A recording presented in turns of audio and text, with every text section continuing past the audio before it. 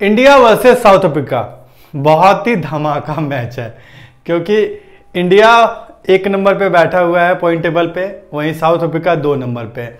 India के पास मज़बूत बॉलर बैट्समैन सब कुछ है। साउथ अफ्रीका के पास बैट्समैन तगड़ा वाला है। डिकॉक फॉर्म में है।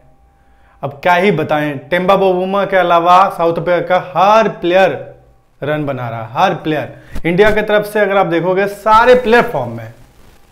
मैच भाई, ये तहलका मैच होने वाला है। मतलब हर पब्लिक का निगाह दो बजे के बाद हटने वाला नहीं है। सब लोग टीवी पे ग्राउंड में या जहाँ पे भी मैच देखेगा मोबाइल में, सबका निगाहें इसी मैच पे होगा। एक तरीके से ये सेमीफाइनल ही समझ लो। मतलब क्योंकि दोनों टीम ऑलरेडी क्वालिफाई कर चुका है। और ये बहुत ही बड़ा धमाका मैच होगा। और इस मैच में क्या होगा, शायद आपको ज़्यादा कोई बता नहीं पाएगा, लेकिन इस वीडियो में आपको वो सारे सवालों का जवाब मिलने वाला है।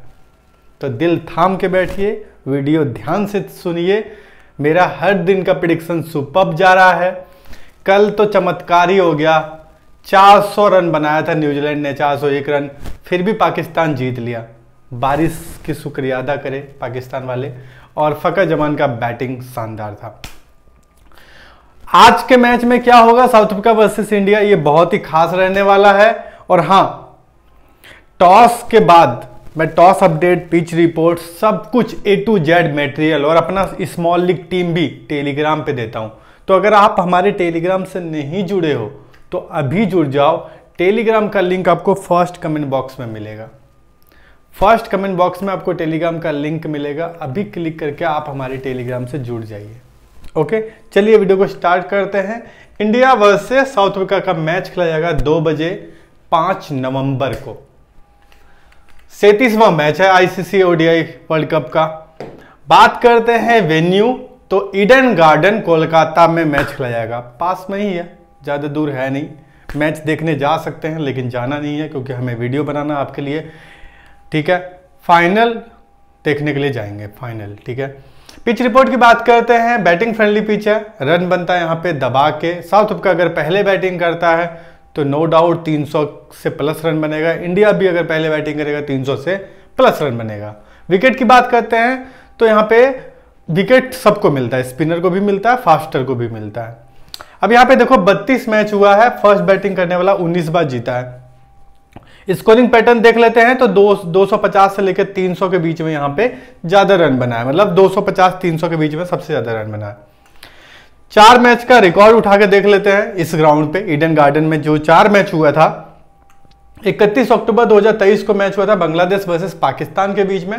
204 रन बना था, बांग्लादेश ऑल आउट हो गया था, पाकिस्तान ये मैच जीत लिया था, जिसमें कि फास्ट बॉलर ने ज़्यादा विकेट लिया। आठ विकेट फास्ट बॉलर ने लिया स्पिनर को पाँच विकेट मिला।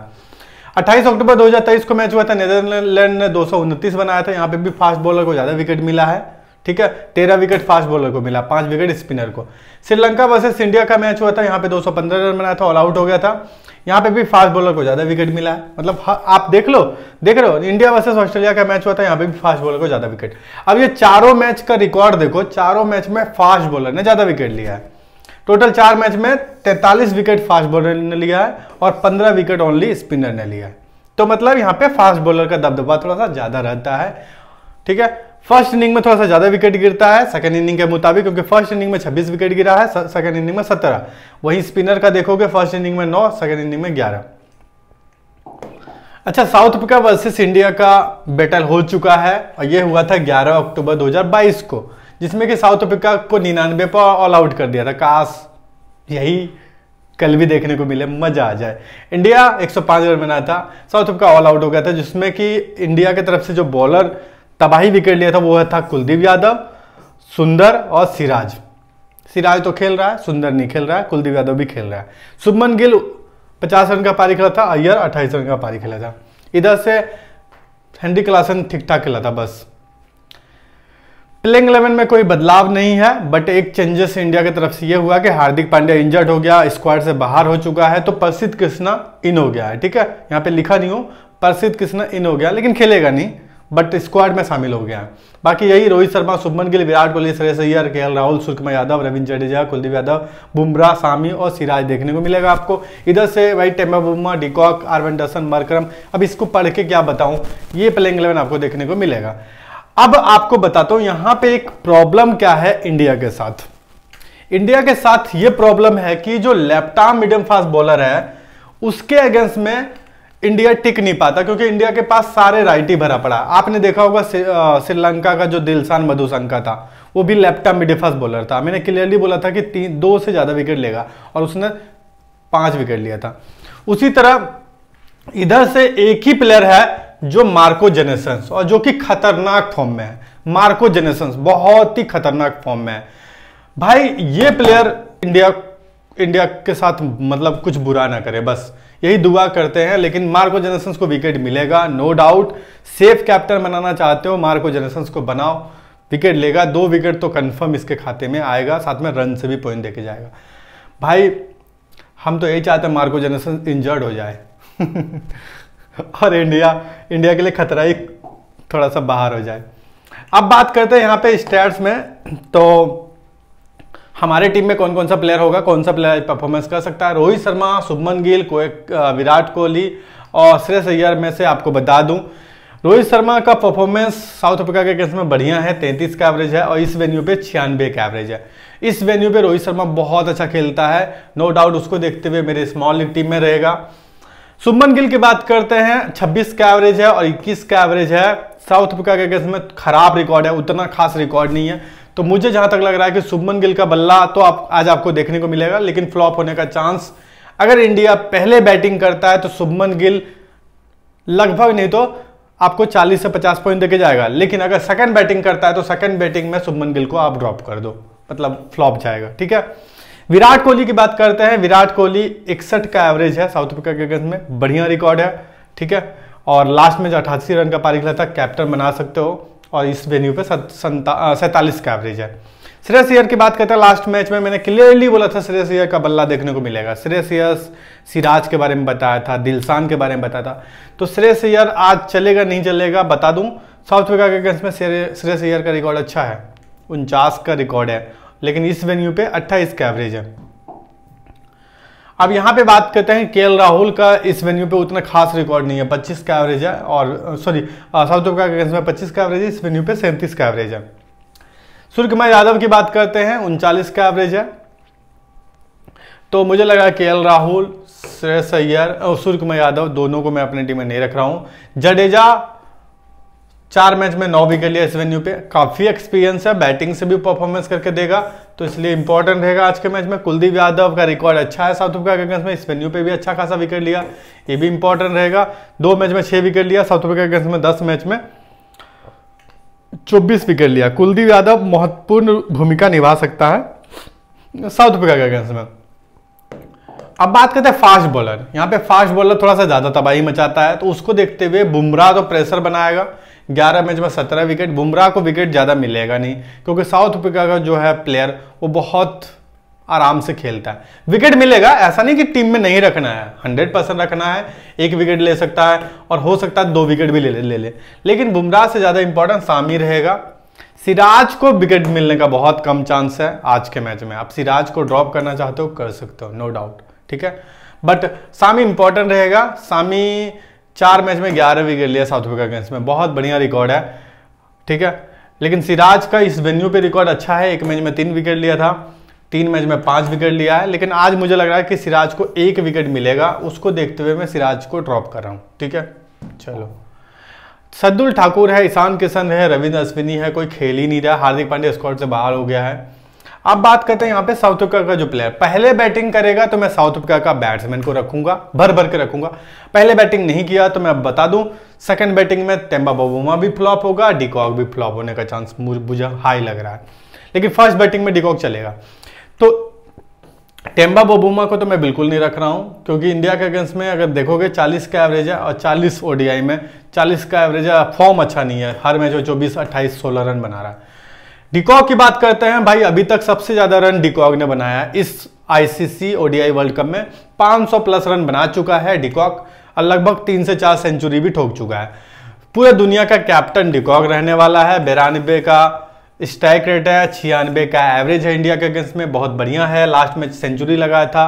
यहाँ पे भी सेंचुरी यहाँ पे भी सेंचुरी यहाँ पे सेंचुरी चार सेंचुरी लगा चुका है इस वो, इस ओडीआई वर्ल्ड कप में। तो भाई, भले फ्लॉप हो जाए, लेकिन मैं ड्रॉप तो नहीं करूँगा स्मॉल लीग में रहेगा, क्योंकि पूरा दुनिया का कैप्टन रहेगा टीम में रखूँगा। मैं कैप्टन वाइस कप्तान नहीं बना रहा। मुझे लग रहा है कि इंडिया के अगेंस्ट में डिकॉक का बल्ला नहीं चल पाएगा।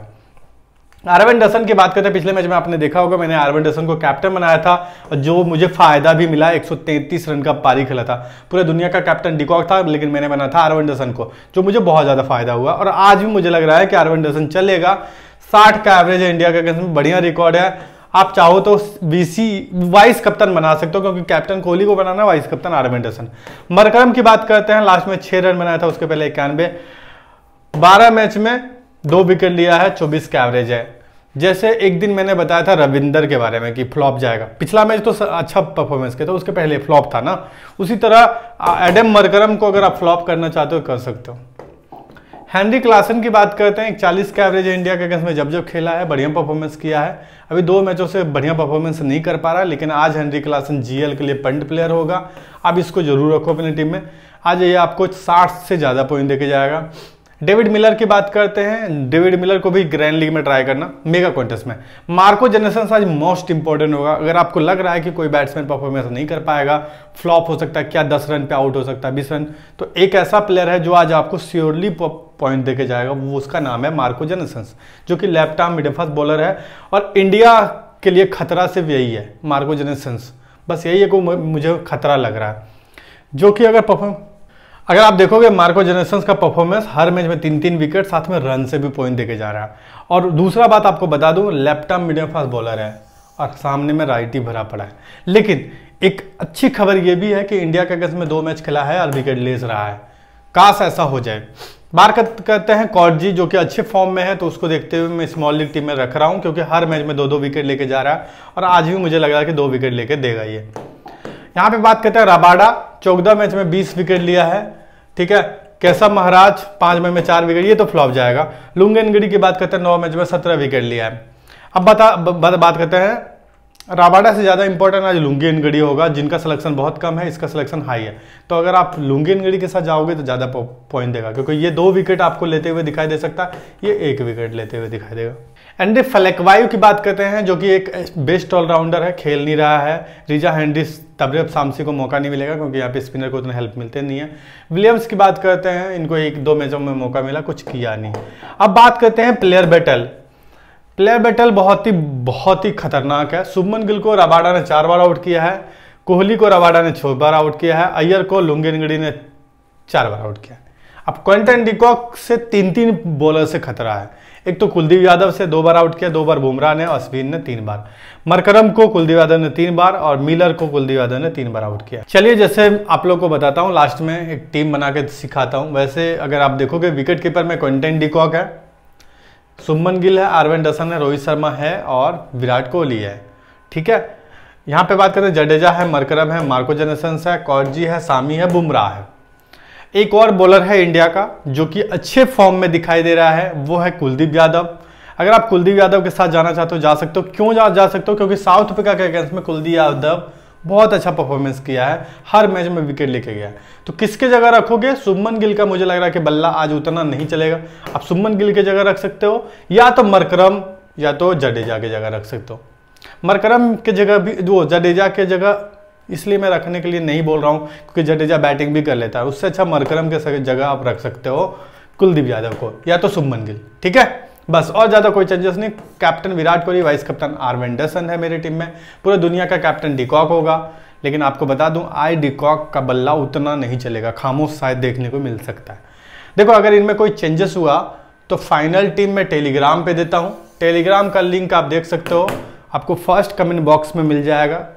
क्लिक कर पिन करके दे दूँगा। आप क्लिक करके ज्वाइन कर लेना। ओके अगर वीडियो पसंद आया हो प्लीज़ एक लाइक करना। चैनल को सब्सक्राइब ज़रूर करना। मिलते नेक्स्ट वीडियो में। जय हिंद बंदे मातरम। इस गेम में वित्तीय जोखिम की संभावना शामिल है और इसकी लत लग सकती है। कृपया ज़िम्मेदारी से और अपने जोखिम पर खेलें।